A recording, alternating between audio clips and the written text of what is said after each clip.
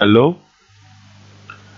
Uh, this video is about using ADS advanced design system from Keysight to design a quadrature coupler also known as a branch line coupler okay so the quadrature coupler is a 3 degree directional coupler with 90 degrees phase difference between the outputs.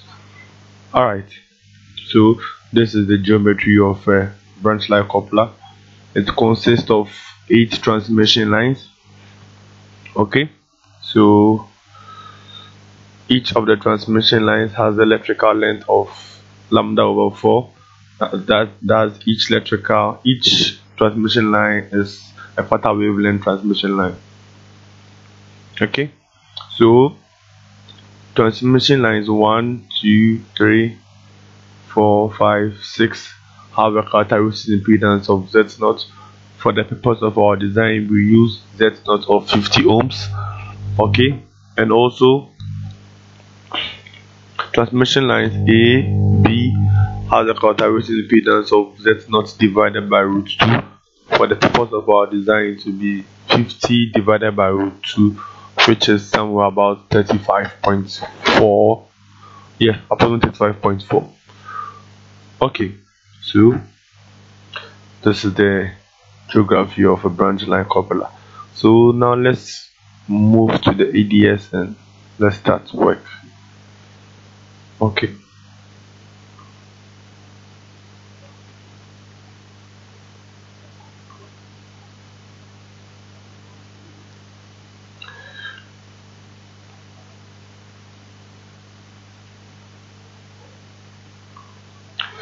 okay. This is the workspace for ADS 2016 ADS is a very powerful tool which aids in designing RF and microwave circuits. It's very useful. Okay. All right so now we know the characteristics impedance and the electrical length of each of the transmission lines. Hence our next step is to determine the width and the length of the respective transmission lines. Okay ADS has a special tool known as LineCalc which is used for calculation of the, le the length and the width of these transmission lines. So to open LineCalc you go to tools alright start LineCalc is loading. Alright now this is the interface for line substrate parameters. This is where you you enter the parameters of the substrate that you'll be using. This is the component parameters the frequency working the physical the electric the electrical measurements. Okay. The substrate that we'll be using is the r0403 yeah. So these are the parameters have already been inserted there okay we'll be working for a frequency of 2.4 2.4 gigahertz. That's the frequency for LTE frequency for LTE okay and that's not of 50 electric uh, effective electrical length of 90 which is equivalent to lambda over 4 90 with equivalent to lambda over 4 so we synthesize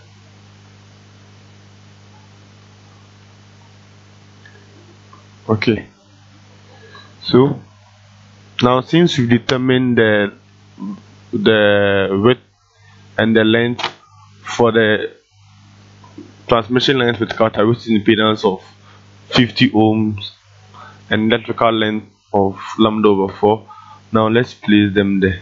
Now to use the values we had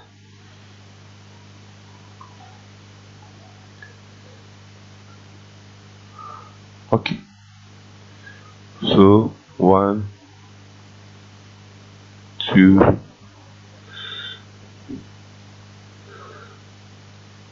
three four five six. Okay. Um, now let's calculate the length and the width for yeah already running sorry. The length and the width for the ones with z naught of 50 divided by root 2 which is 35.4 so synthesize done okay choose blank out alright one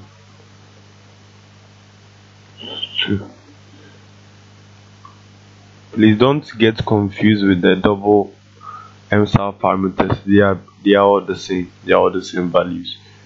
Okay.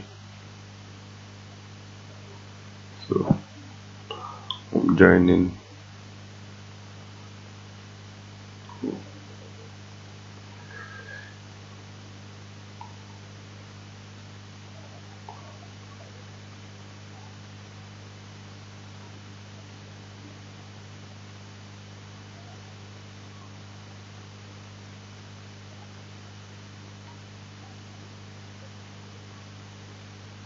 Escape.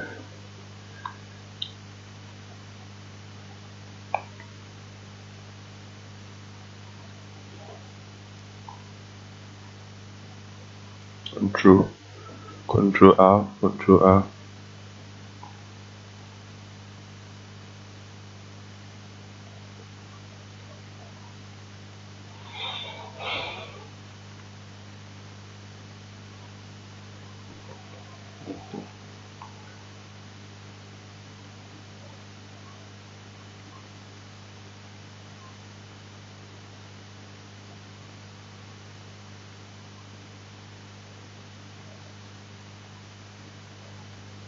Okay.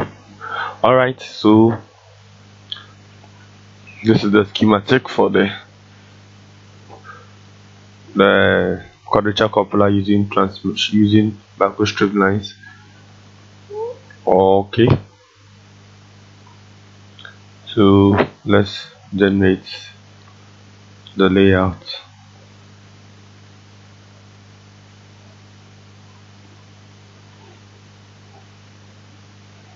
Alright cool. So this is the layout. Very similar to the one showed previous just that this. Is a bit thinner. Okay. So let's perform our EM simulation. Okay. So EM simulation. First let's check if the substrate we're using one needed.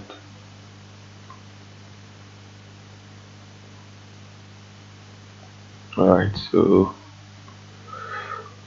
as I said earlier we are using the R0 403 assuming this wasn't here you will go to add from database and you select your suitable your suitable dielectric okay so. Let me remove right the conductor you go the same procedure if it wasn't here you just you can also change the values here. Okay.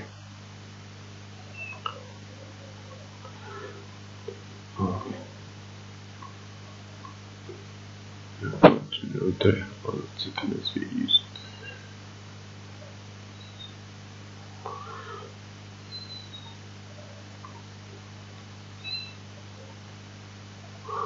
okay.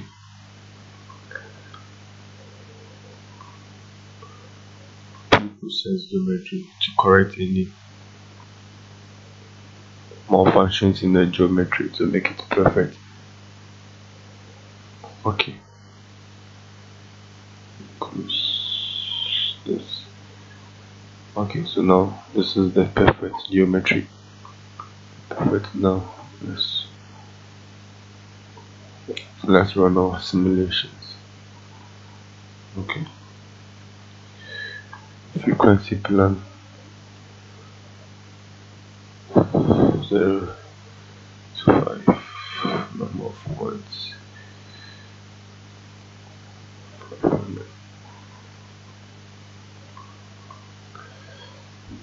S parameters. Simulate. Okay so now let's simulate and see if the results obtained matches that of a quadrature coupler.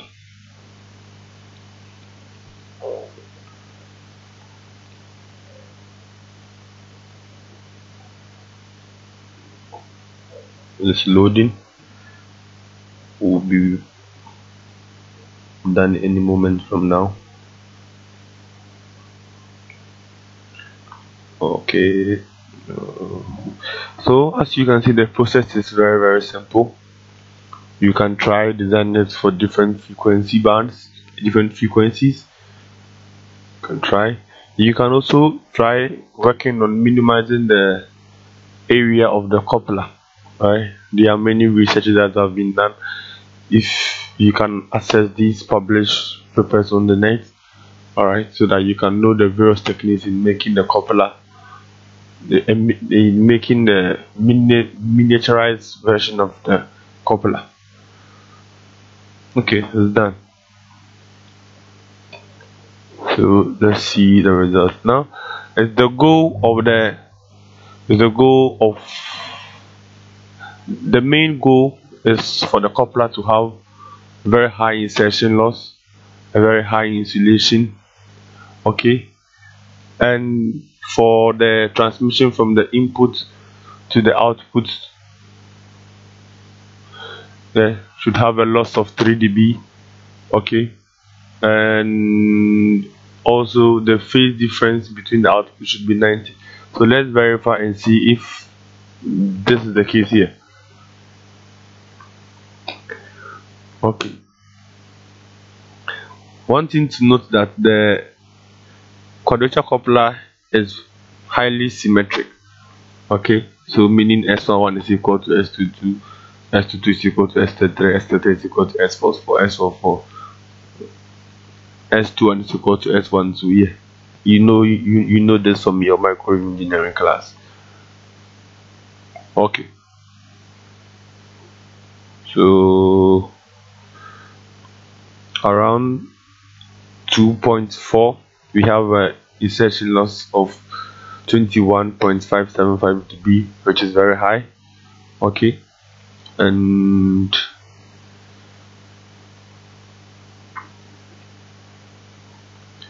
from port 1 from port 1 to port 3 we have a loss of 3 dB opposite 3 dB which is also good. So and this is the isolation between port 1 and port 2 isolation of 23 almost 24 dB which is also very high. So let's cross cross check with the phases and see if everything is good.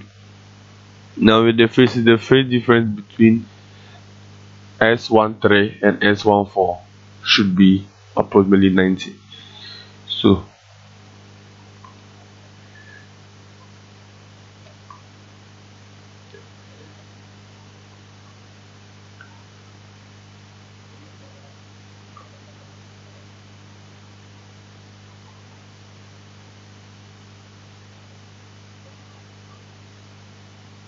so 80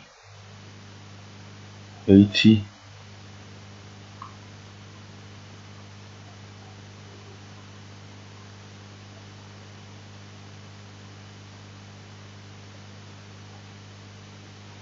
so yeah so yeah as you can see the faces also match the difference is approximately 90 degrees. So yeah. So we have designed this is the end. We have designed a quadrature coupler. If you have any questions or you don't understand anything you can comment below or send me an email on osborne o s b o r n e b m 406 at gmail.com okay. Have a nice day. Hope to hear from you. Bye